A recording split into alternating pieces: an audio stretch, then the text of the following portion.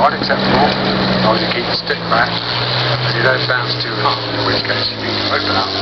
Again.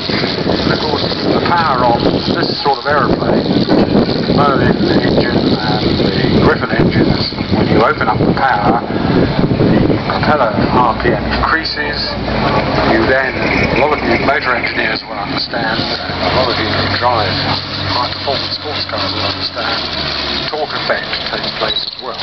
got to be ready. With rudder through the feet